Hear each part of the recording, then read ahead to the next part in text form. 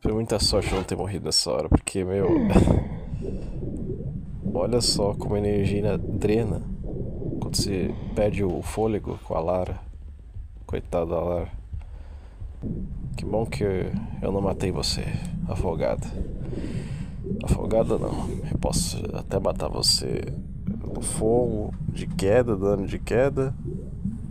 Mas afogada de jeito nenhum.